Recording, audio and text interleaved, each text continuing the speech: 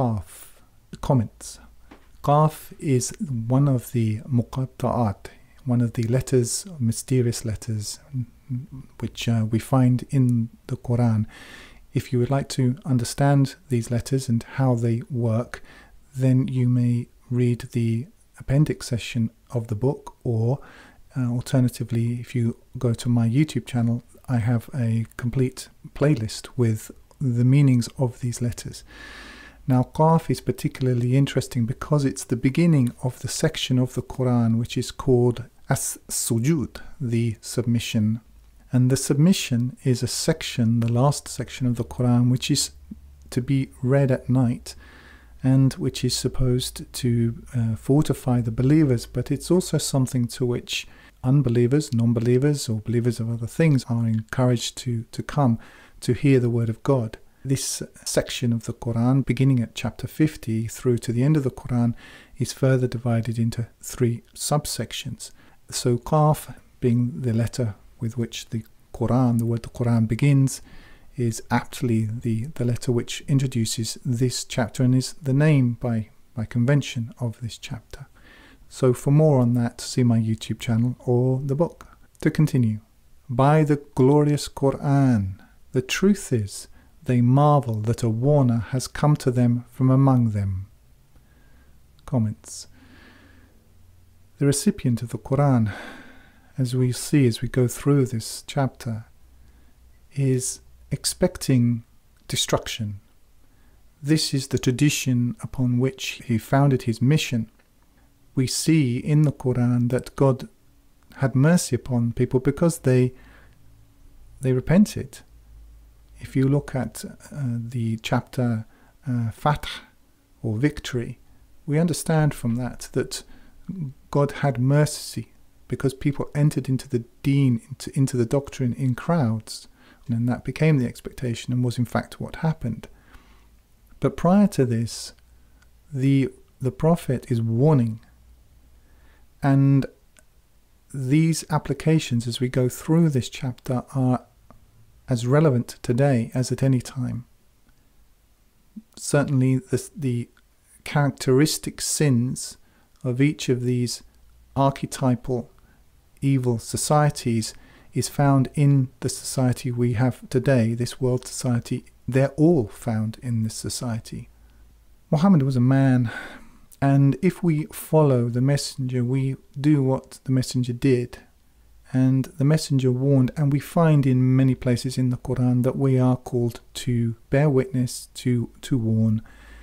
And this is the job ladies and gentlemen. It's uh, not a religion, uh, no matter what your favorite mullah has told you, it really isn't. And um, you can expect to be somewhat uh, ridiculed if, if you take up that gauntlet, but this is the job to continue. The truth is, they marvel that a warner has come to them from among them. Then those who spurn guidance while claiming virtue say, ah, this is an amazing thing. When we are dead and are become dust, ellipse is here understood as are we indeed to be brought back to life? So this is an implied statement. To continue. Then those who spurn guidance while claiming virtue will say, This is an amazing thing. When we are dead and are become dust, that would be an unlikely return we know what the earth diminishes of them, and with us is a preserving decree. Comment. What we do in this life, and this is uh, something which is borne out throughout the rest of the chapter and is returned to within the chapter, our deeds, our actions are recorded. So, what we have in this life is the opportunity to invest our life in the most beneficial campaign that there is, which is serving God, or you can spend it on something else. So God has a preserving decree. To continue, the truth is they repudiate the truth when it comes to them, so they are in a confused state. Comment if you do reject the truth when it comes to you, and uh, to be clear, I'm talking not here about a religion, I'm talking about the truth. Uh, all that's left to you is a lie. And what's rather difficult at this time is that people are solipsists, that is, they basically see themselves as the centers of their own universes, and if they want something to be true, they believe it's true, and they think that opinion is the same thing as fact, and they're not. And um, for younger people, it's very hard given the dumbed down education. However, facts remain facts, and I advise everyone to deal with facts and not with opinions. To continue, the truth is they repudiate the truth when it comes to them, so they are in a confused state. Have they not then looked at the sky above them, how we constructed it and made it fair? There are no gaps therein. And the earth we spread out, and cast therein firm mountains, and we caused to grow therein every sort of delightful kind, as an insight and a reminder for every repentant servant. And we sent down from the sky blessed water, then caused to grow thereby gardens and the reaped grain, and tall date palms with spathes in clusters, as a provision for the servants. And therewith gave we life to a dead land. Thus will be the emergence. Comment. Now, in this section, God calls to witness his creation. The sky is a fact, the creation is a fact. The, this, the water coming down from the sky, giving life to the earth, these things are a fact, these things are designed. These is, this is evidence. This is truth. And it was designed for a purpose. The design is intrinsic to the facts that we see as a provision for the servants. And yet God brings this witness to the closing point of this part, which is thus will be the emergence, i.e., at the end of time. All men and women, all humans will come forth from the earth. In the same way, God sends down water from the skies and fruits and corn and so forth come forth. These things are a, figure, they are a pre shadowing of what we are all to experience. Now, this chapter is very much focused on warning, and we're now going to hear a listing of societies that were destroyed to continue. There rejected before them the people of Noah and the companions of the commencement, and Thamud, and Ad, and Firaun, and the brethren of Lut, and the companions of the woods, and the people of Tubba.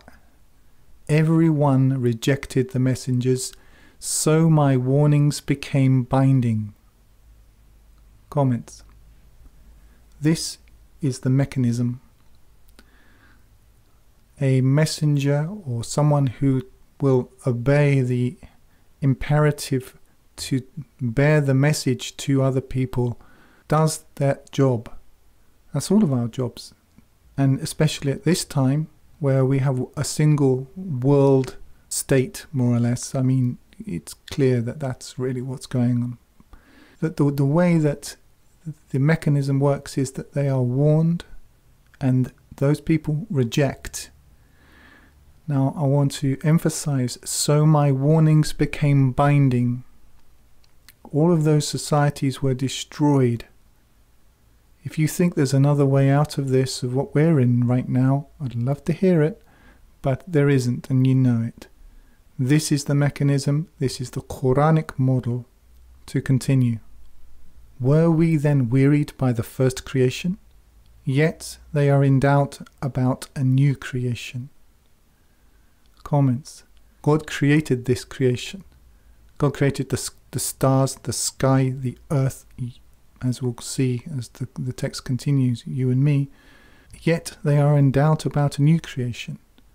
So, are we to doubt that God will create a new creation? Should we doubt that? Hmm, of course not. The entire universe of evidence supports the fact that a new creation is possible because if a new creation were not possible, this creation would not exist.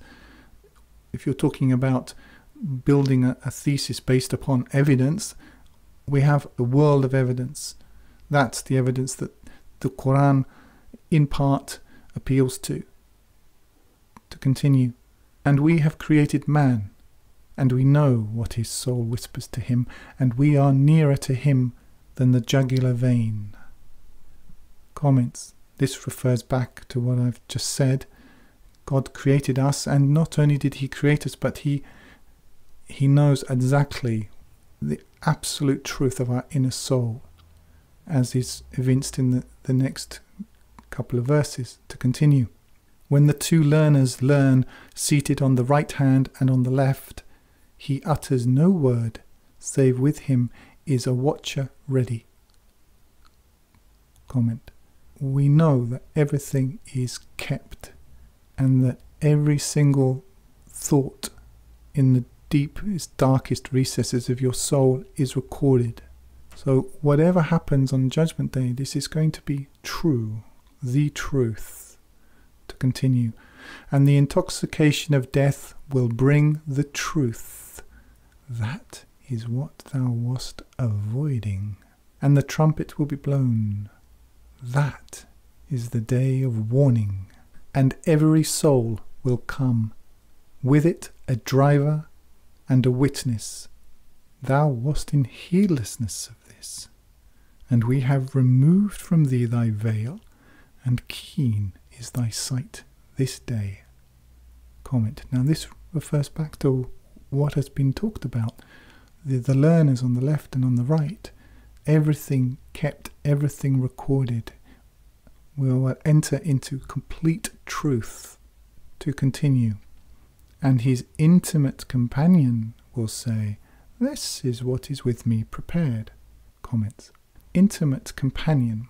If you look through the references in the book, you will see that this refers invariably to the shaitan. Now let's listen to the way that he presents to continue. And his intimate companion will say, This is what is with me prepared. Comments, What? What is prepared? If we remember, the Shaitana said, I will wait for man on every on every path. I will come from them to them from the from the front and the back and the left and the right.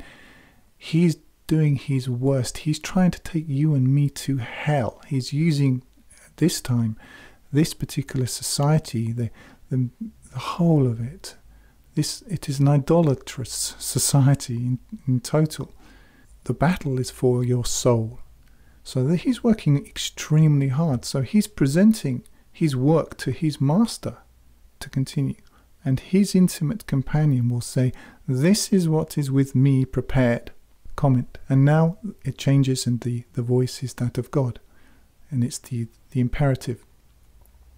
Cast into hell every obstinate ingrate hinderer of good, skeptical transgressor who set up with God another God. Cast him into the severe punishment. Comments.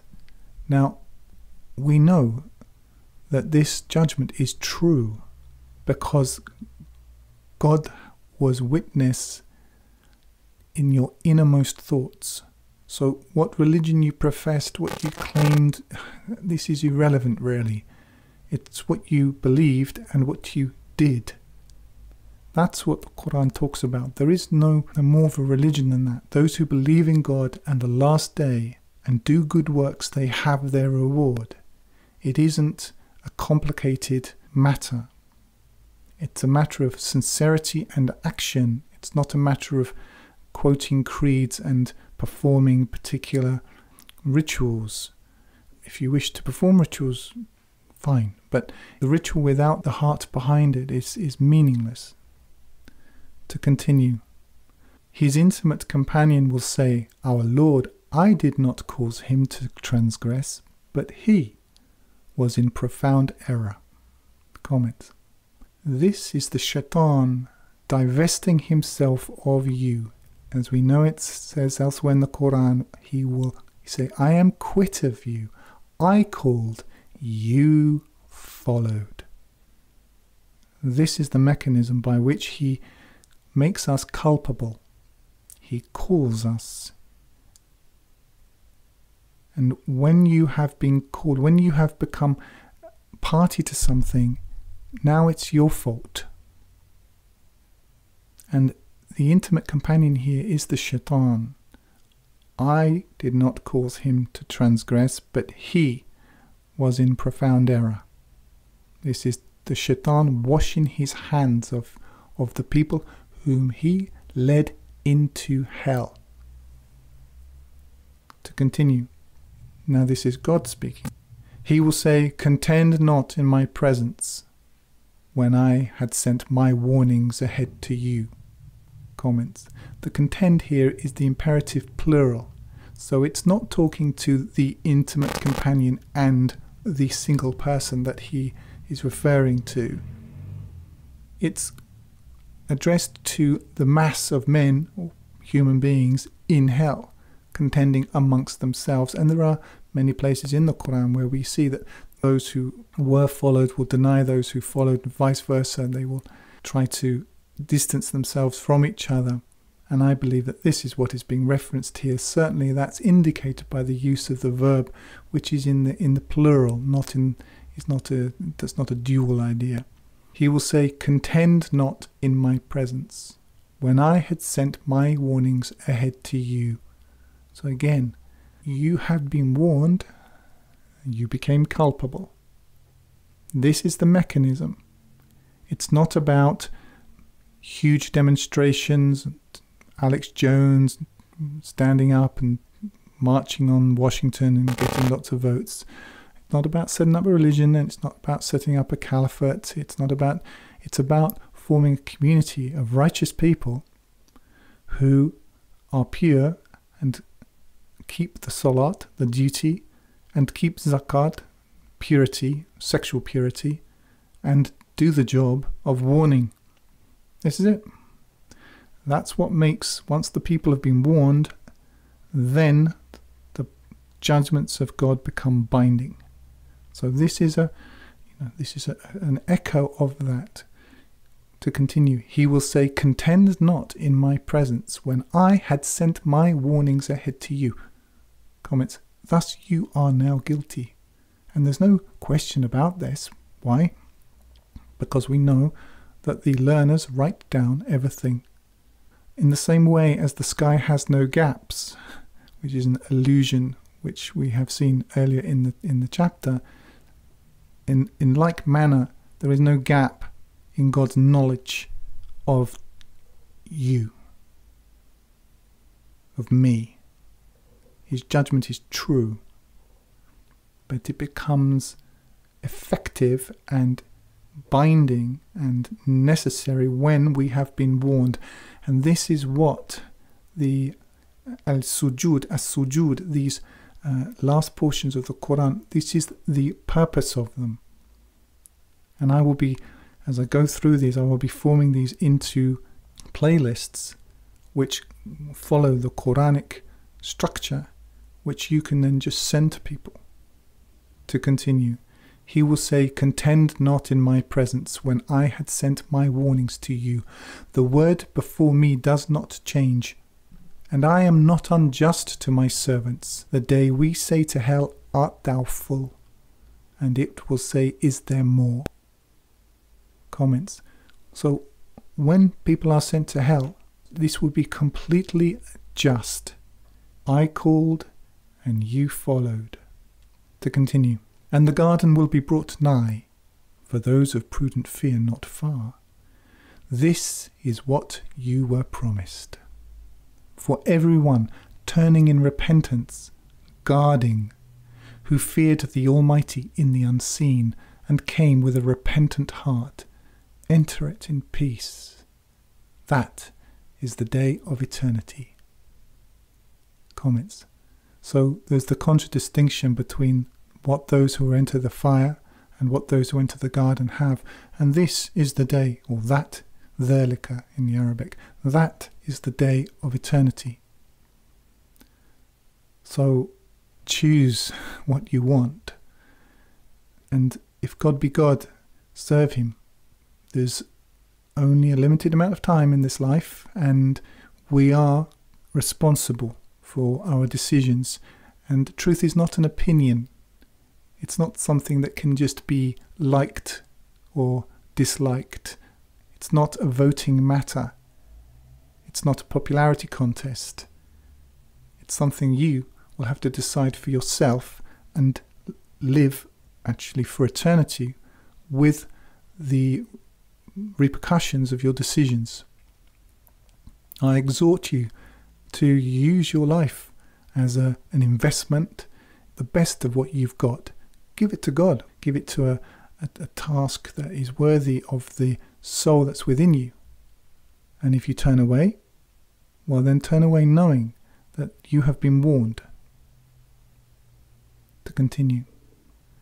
They have what they desire therein, and there is more with us. Comment.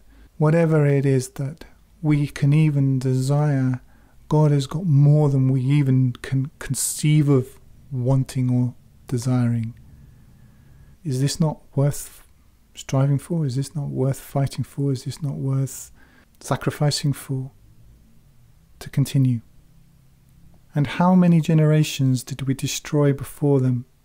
They were stronger than them in might, and they penetrated into the land. Had they any place of refuge? Comment. This is a rhetorical question. Had they any place of refuge? No, they hadn't. They were destroyed. And the implication is, is that this is now a similar situation. There is no refuge. There is no safety but in communication of God and His message. There is none. And when the warnings begin, when people get this, do the job and warn people, mainly the elite, but other people as well, those people are now culpable. Culpable. It's like having your rights read to you. You have the right to remain silent. You have the right to a lawyer. If you don't have a lawyer, one will be appointed to you by the state, etc., etc., etc. Once that thing has been said to you, you've heard that, you are you have now been served with notice. You have entered a different um, legal status. To continue, in that is a reminder for him who has a heart or gives ear with a conscious mind. And we created the heavens and the earth and what is between them in six days, and there touched us no weariness. Then be thou patient over what they say, and give thou glory with the praise of thy Lord before the appearance of the sun, and before its departure, and some of the night glorify thou him, and at the ends of the submission. Comments. There is a reference or an appeal to the creation of the heavens and the earth. Every single molecule which makes up your physical body and your the minds and the electronic impulses which are which comprise your thoughts they're all obeying laws laws which were defined created and are maintained by the creator of the heavens and the earth so you're drowning in evidence. And then there is a, an appeal quote then be thou patient over what they say end quote. This job requires patience. And I contend that you and I are called to this job, and we will and do hear a lot of things which are unpleasant to hear. But you have an heavens and earth of evidence, and they have, if they've rejected the truth, then they are in confusion. There is a difference between truth and not truth, and it's not a matter of opinion. To continue with my comments of this part, quote, and give thou glory with the praise of thy Lord before the appearance of the sun and before its departure, and some of the night glorify thou him, and at the ends of the submission. Now, what glorifying God is, I think, is something that people can work out for themselves. I'm not going to talk here about particular ideas and notions about what prayer may or may not be at this point. But what I am going to say is that at the ends of the submission, as sujud, I refer you to the notes and the appendix section of my book for the work that I have done on the Muqatta'at or the mysterious letters, which you can find on my YouTube channel uh, as a separate playlist and also in the book, which you can download for free or buy if you wish. This is one of the times, the submission as sujud, when one is to give glory to God. I would claim, I would assert that this is at the end of this as sujud, this period of reading the Quran, at which other believers, but other people also are present, and at which they can they can make their determination. And I will get to the this very important word when we we get into Al Qadr and uh, Layl Al Qadr, and this is very very crucial because this is what it's about. It's about inviting people to come to a determination, one way or another, for the creator of the heavens and the earth and the veracity of the Quran. It does not mean that if someone does not follow the Quran that they are damned. That's not what I'm saying. What I am saying is if they do not believe in God alone and turn away from sin and do good and righteous acts after this, that they are culpable. They're culpable in a different way. They're culpable in a way that they were not culpable before. Just as somebody who becomes uh, of age is in a different legal status before the law, or someone who's had their rights read to them by an officer of the law, they are in a different legal status. So, someone who has heard a sujud, who has listened to the witness of these parts of the Quran explained to them, is now in a different legal status. Now, does this mean that somebody who is a practicing Jew, who is observing the Torah, who is doing righteous works, who is keeping the Salah, he's keeping his duty, and he's also keeping Zakah, he's sexually continent except with his, those who, to whom he has a, a legal right. And if you would like to understand why those things mean those things, I refer you to the, the, the larger body of my work, then he's righteous. The Quran does not require that anyone adopt actually any religion, and certainly not the religion of quote unquote Islam. You won't find the religion of Islam in the Quran. What I am saying is, is that it's God who guides. That's the Quranic message. Whom God guides, he is guided. That's the message. And this calls people to turn to God, not to turn to a mullah, certainly not to turn to me, but to turn to guidance and to turn to God for guidance. So this is a, a clarion call for the soul. And this is the job of those who believe in God and the last day and who follow the Quran and wish to follow the Prophet who brought the Quran from God because this is what this Prophet did. So, this is the job, this is the job description. So I'm just laying that out for you. To continue. And listen thou, for the day the crier will cry from a place nearby, the day they will hear the blast aright. That is the day of emergence and we give life, and we give death, and to us is the journey's end. The day the earth is rent asunder from about them rapidly, that gathering is easy for us. We know best what they say.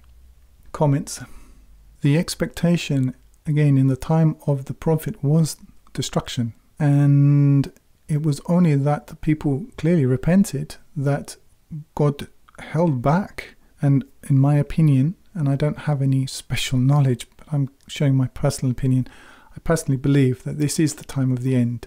Or certainly, if it's not, it will mean that the elite, the ruling elite, is going to have to repent and take the society with it.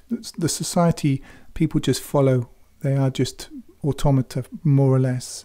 If you see the, the, the Quranic methodology, it's always going to the elite. They don't go to the mass of people because the mass of people do whatever the cult they live within tells them to do. And that's what people do today. Nothing has changed. And I'm just uh, embracing and understanding that reality. But the message is apocalyptic, certainly in the terms of cities who, which were destroyed in a way, and it's it's an awful phrase, but a global village. I mean, it's uh, I don't have an awful lot of affection for that term for many reasons, but the idea that the world is now one kind of community, I think we can agree that that's happened. So when one warns now, we're really dealing with the world. We're not dealing with Ad or Thamud or Firaun or these you know, sort of discrete, localized communities. We're dealing with the entire world now. The Quran is telling us that this is going to happen, that there will be a blast and there will be the day, what it calls the day of emergence. And this is going to be cataclysmic. Quote, the day the earth is rent from about them rapidly. End quote. To continue, that gathering is easy for us. We know best what they say. Comment. Now, this refers back to one of the recurrent themes within the, the chapter, which is that the learners, they know everything, they write everything down. So, whatever hurt one experiences from false accusations or from insults, we know best what they say. And now we we move into the concluding statement. And thou art not a tyrant over them. Comment. It's not the place of anyone who picks up this gauntlet to make people believe. You can't make people believe. As we'll see, is, is God willing, we continue with this with this uh, exposition throughout other parts of the Quran. We see over and over that actually you can only bring this message to people who already believe. The, the, the condition of believing is a condition of soul, and you know, people do change. Some people do change, and some people do um, do repent. That certainly happens, but you know you can't make anybody believe anything, and in fact, to try to is an anti-Quranic position. So to continue, and thou art not a tyrant over them. Remind thou with the Quran him who fears my warnings. Comment. This really confirms what I've just said. So you can only really remind with the Quran, to some degree, who already fears God. Because Alladhina kafiru, as we know from my exposition of this and the Quranic definitions, these are people who are heedless of warning. They, they don't care about any sort of warning. They don't care about hell or what happens after death or any of these things. They're indifferent to these things. They're indifferent to warning. There are many people who are not indifferent to warning, but who have not heard this message, and these are the people that we're looking for. And this section of the Quran, this end section, is geared toward it is really the, the, the missionary's handbook it's the, the part that we are to use to take our message to those people and for them to make a determination on how they want to spend their lives and where they see their best interests. That concludes this section of the comments and exposition.